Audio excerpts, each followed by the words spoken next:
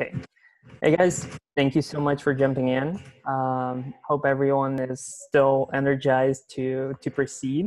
Uh, I know a lot of us are are feeling kind of the burnout in the, in some ways, the frustration about the lack of structure in the process, but we're getting there. I think yesterday was really an inflection point in terms of all of the teams self-organizing, having specific team leaders that are not necessarily principal investigators, just people that push things around and you know spark the conversation. I think that's the most important way to you know proceed in in the current environment. I do feel we'll need those you know more formalized principal investigators down the line once we actually you know reach some of the bigger uh, impact items for each of the tasks. But for right now, it's it's all about brainstorming uh, being creative and just jumping on calls and talking through all of these things. Um, and I've, I've taken some time away yesterday to uh, focus on external communications. There will be two uh, action items that I will be sending out emails about. Uh, basically, we've uh, posted our website on producthunt.com uh, which is kind of the place where startups uh, spread their their products. Not necessarily a product, but I think we we fit the category of a product in a way because this is a, a product. Like all of this is a mm-hmm. unique collaboration and environment that people uh, should be willing to you know be interested in and that's also a way for us to get more product managers and people uh, that you know uh, know how to organize stuff so um, you can jump into the comment section, answer questions, also introduce yourself and tell people who you are and what you're doing and what's your experience uh, with CoronaWhy. I think that's going to be helpful for us to get more non-technical people. The other thing, I wrote a Medium article, uh, a lot of clickbait, a lot of things to, you know, spread uh, the message uh, a lot of gifts and stuff like that but hopefully that resonates with people. And uh, whoever has medium account or can share article please do that. I'll try to send out email to everyone who filled out the team roster. Um, and for the ones who haven't I'll, I'll post that into announcement channels. All right. So back on track. Um, so we we are uh, seeing this pattern of you know, keeping this call as a daily sync, kind of the housekeeping or organizational staff, uh, staff and kind of uh, breaking into uh, individual calls to focus on specific things. Like at, uh, in 23 minutes, we're going to have the call focused on medical experts and engagement with those communities that is uh, driven by Stephen and uh, Natalie, I believe. And I highly encourage you to just start creating these Zoom calls and posting them in your specific task channels to start the discussion. Like it feels like no one is online until you send the Zoom call and 10 people jump in and somehow something happens. So the first thing to discuss is uh, discuss current blockers and how to make progress within individual tasks. I think um, Daniel and Mark will be the best people to jump in here just because they they are kind of trying to keep in touch with everything uh, yeah so just go ahead. So definitely it seems like a big piece of one of the blockers is just getting our organizational side uh, figured out. I don't Mark do you want to talk a little bit about the the channel simplification and hierarchy that you've been kind of putting together?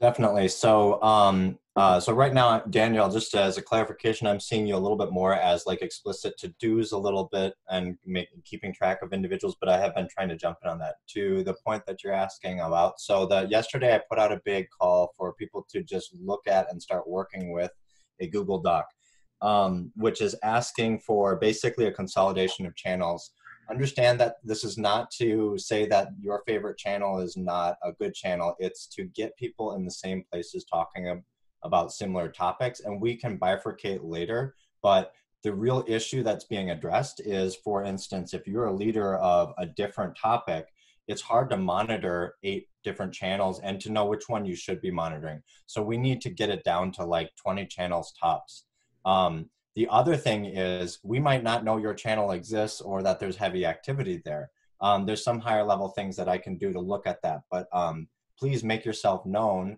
Um, and really, the biggest question is um, is there status updates that are being missed in these calls here? Um, so check out that doc. The other thing is there's a general document called assets. I'll post uh, a link to that. And this document is in it, and we're trying to just find a way to just like make a high level view of everything. So that's the effort. Please, if you have any working document, including a notebook or just like brainstorming ideas, but it's a document, share it with me so that we can get it um, wider, uh, spread wider, because I think that there's a lot of parallel conversations going on. Um, so I'll just stop there on that point. No, that's perfect. And yeah, Tina is, is posting in the chat there. She has a, a great um, sort of a draft of some of the core channels that we need. So as we start to consolidate those, one of the things, a lot of these are team-based channels. You know, they may not be the task teams, but there's there's definitely a team that's there. Um, if the folks in that channel can figure out who can be, even if it's a temporary point person or maybe it's a coordinator for those channel, uh, the more we know that, the more it can help us get that that overarching structure in place and help the new people figure out who they should talk to uh, about any, any given thing jump in one more point. Um, uh, if you're looking for something to give people to do, a nice thing is to assign somebody as a liaison for your task group and say, and their job is to make sure stuff's updated on that main doc page. It doesn't have to be the leader themselves. But, and then also what we want to know is, are you monitoring three or four other sub channels? Let us know that kind of thing too. So, um, so we just get a full map of, of activity. Yeah, and I think it's been mentioned before, but a couple things that, that are easy ways for us to kind of again organically figure out what's what. Um, in your profile, you can both you can add your LinkedIn profile um, and use that status that status line as well. If you're looking for a task, throw that into your status, and that way any of us who are quickly looking around can figure out, you know, uh, Brandon's really good at this, but he's also doing 28 different things. So why don't we see if we can find somebody else who has has uh, that, that skill set as well. Um, Thanks for that. yeah. Um, I wonder if we want to, to quickly go into um, if there's, oh, and also name, name, again, putting out your teams, but also putting out the blocks. Um, list the things that are your blockers and also keep on giving the suggestions. Every suggestion that's been given so far around what we should be doing organizationally, um, those help shape how things are. We've got a whole bunch of smart people here, um, and we're each looking at a different facet of things. Nobody can keep track of it all. And so having having each person give their insights into how we can be improving uh, is, is exactly how we get there uh, faster. Um, maybe move into, unless, are there any other specific blockers that people want to talk about within their individual tasks? Hello? I think, I think the, the team reports uh, for individual teams would be great, just because we're trying to hit the 30 minute mark, and I believe some people will be willing to join the medical experts call uh, in 15 mm. minutes. So if we can do the roll call and team reports, that would be great. Sounds good. All right, so uh, teams to report. We want to start with the task teams and find out what's going on there. Uh, Hello? Oh, okay, go ahead. Yes.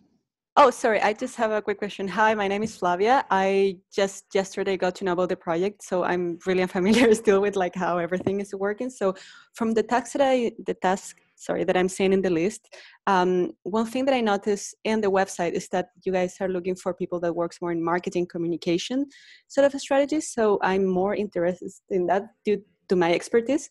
Um, so I was wondering if that can be included also in the tasks, or is basically visualization part of? Uh... Yes, definitely. Thanks. We'll talk offline. Um, but thanks for making yourself known.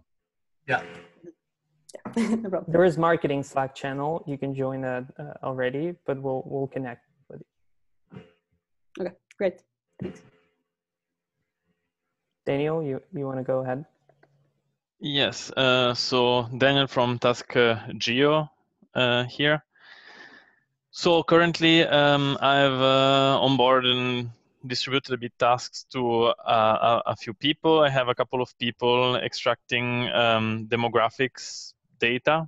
So, for example, um, localize the density of population so on that uh, can then be used for further analysis. We are also extracting climate data. We're trying to um, build up an automated pipeline to extract regularly this kind of data and update data sets uh, it would be great at some point to have a centralized place that's kind of stable where we can dump uh, such data sets in a kind of a regular manner, maybe once a week or something like that. Um, and I have a person setting up uh, a SEIR model to well, trying to understand uh, first analysis of the data, let's say. Um, I have a couple of things that I, I think we would need, uh, at least on my side.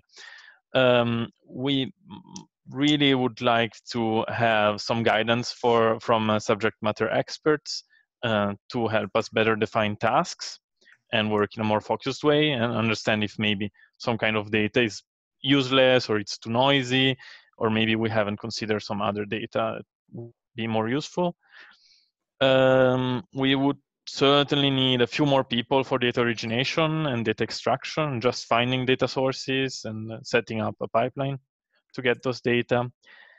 Uh, as already discussed in the call before, would need maybe some someone to do uh, kind of communication between groups uh, because we're working.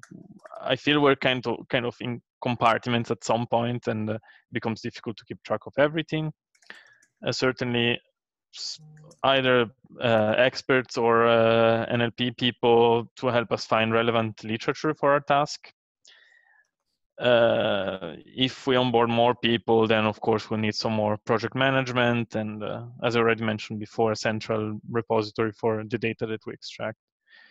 Um, another important and task that I would like to confront uh, in the near future is trying to extract more granular data for contagion.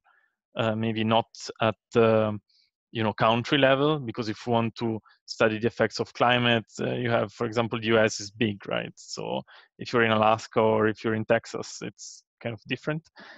Um, and there's well for the US, I think we have a place to get the data, but for many other places, still no clue and we'll start working on that i think today hopefully because probably disparity around what the needs are and where the bottlenecks are in terms of support people maybe we can also have each of the coordinators and do, let's do this in slack but once we know kind of who those coordinators are they can identify which are your biggest sort of human resources needs so that we can make sure that people are getting allocated in, in an even way across the time yes that would be great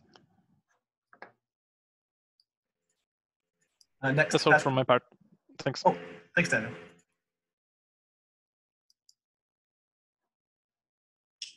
Hi. Hey, you, yeah, how are you? Good. Yeah, do you want to tell us what's going on with uh, with VT? Uh, we are doing fine. We are moving forward. Not uh, VT, but have... risk factor. Oh, yeah. Yeah, mm -hmm. risk factor. Yeah. And now we have um, an amazing list with keywords that uh, were partially uh, made manually and partially like uh, enriched automatically. Uh, we have quite a few pieces of code. Uh, we almost have uh, the database that is search searchable for the different purposes. Um, and basically, tomorrow it seems like tonight or tomorrow morning my time uh, we will have uh, more uh, more tasks submitted. And uh, basically it looks uh, it looks okay. We are moving forward. We have some progress every day.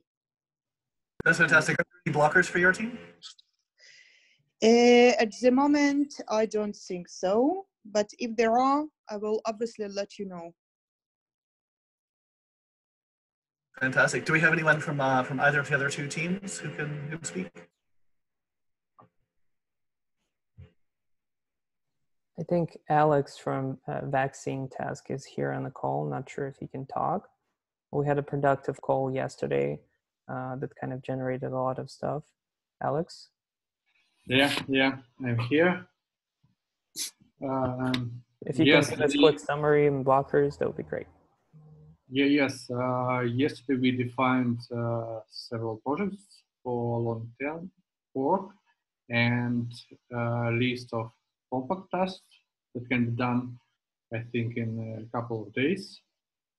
Uh, today we focused on analyzing results of uh, uh, named entity recognition provided by Brendan. Brendan, thank you. no uh, problem. And uh, other task for today, I think uh, uh, classification task, experimental theoretical papers classification. Uh, we extremely need help with collecting, analyzing, validation ideas, papers, existing solutions related to projects because they heavy, big, uh, complicated. So domain experts, researchers uh, are very welcome.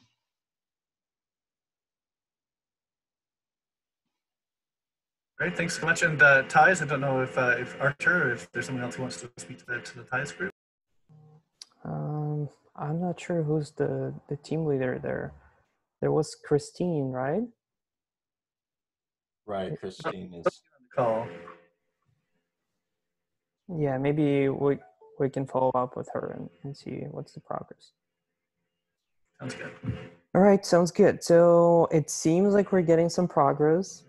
Some tasks don't even have blockers, which is great. Um, let's let's see what's next. The next thing, preparing output for the Kaggle summary page on the progress so far.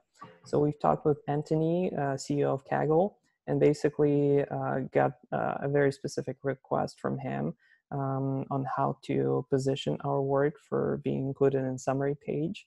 Um, I think I'm gonna go ahead and create some basic uh, structure and um, taxonomy for that. I think those will be four separate notebooks that will have a very different structure and purpose than the main notebook that we have. And basically will serve a, as a place for Anthony to open and see if there is something uh, you know, uh, useful to copy and just paste into the summary page. Okay, if anyone has any ideas how to push that faster, that would be great.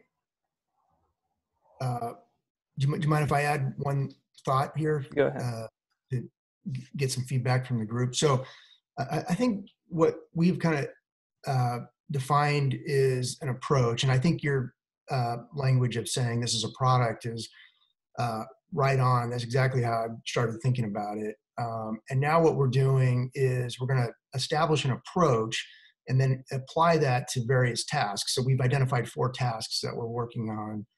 Um, the I'm trying to document what that process is, understanding that a it's we're it's still in development, so it's not finalized by any stretch, and b it may be specific or unique to each one of those tasks.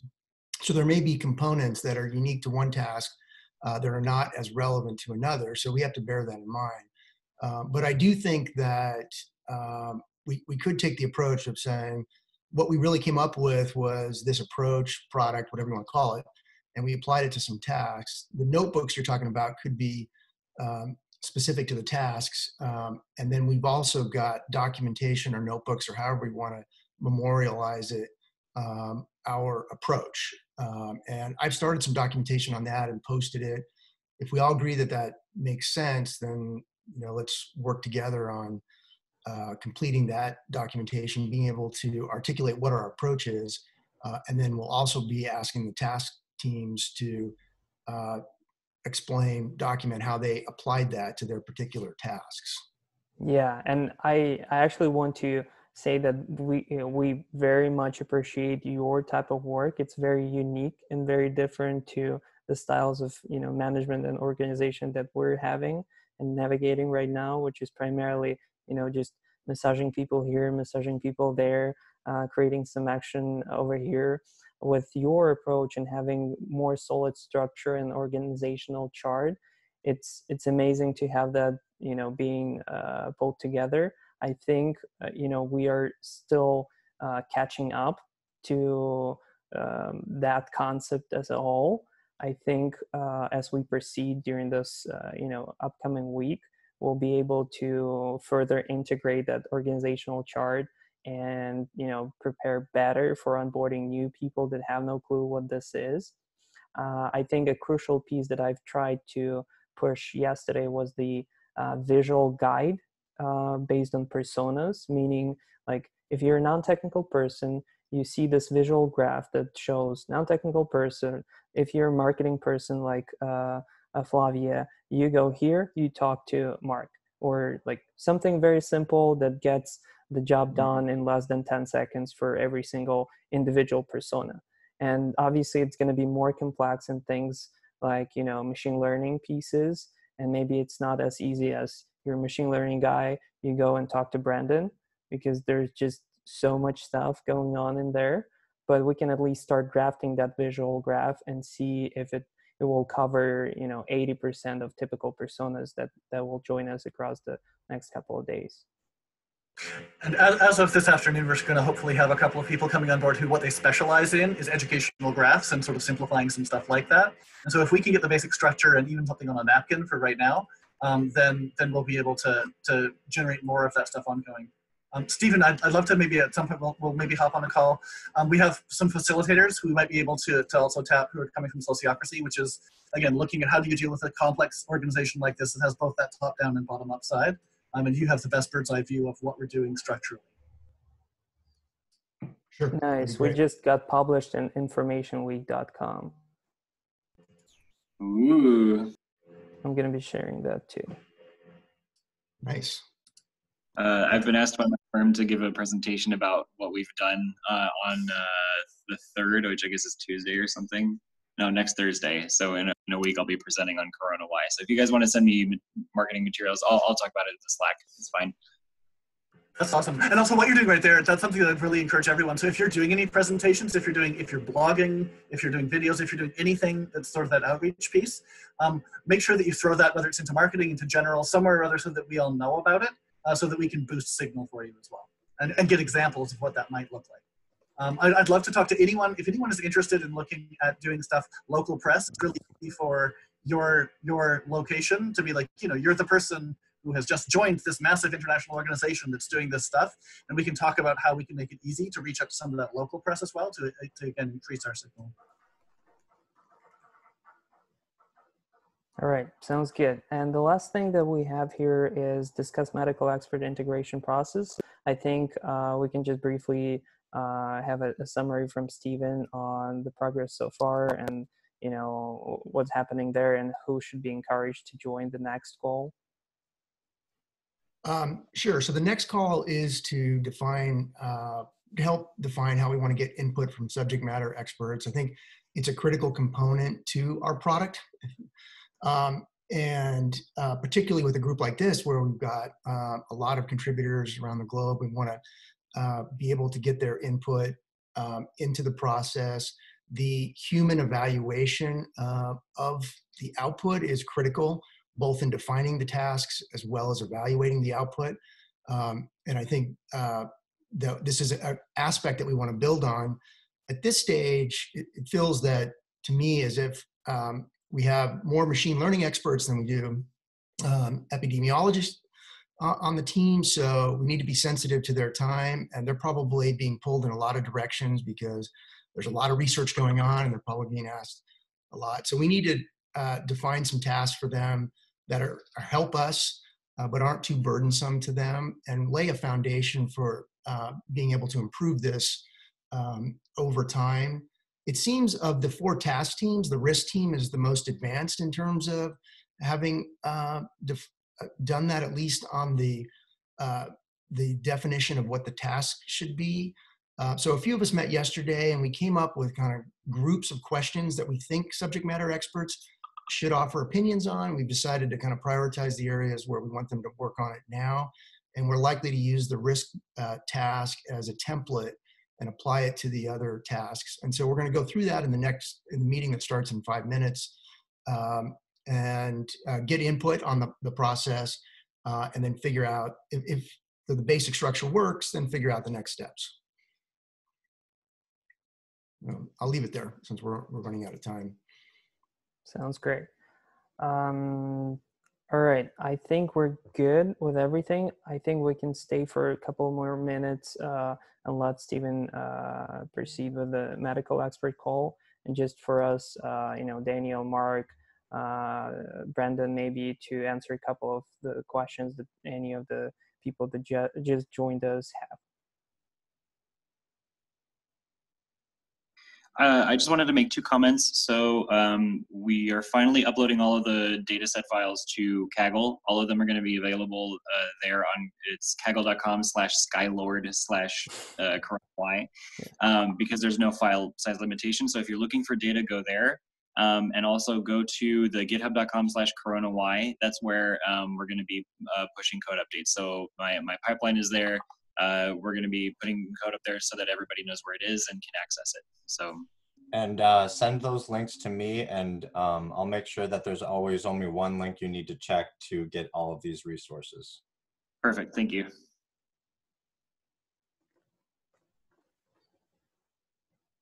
Does anyone have any questions?